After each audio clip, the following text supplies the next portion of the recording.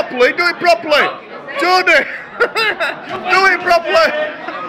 Do it properly. Do it properly on your own. On your own. Go on. No, you and Nicole as well. Go on. Do it together.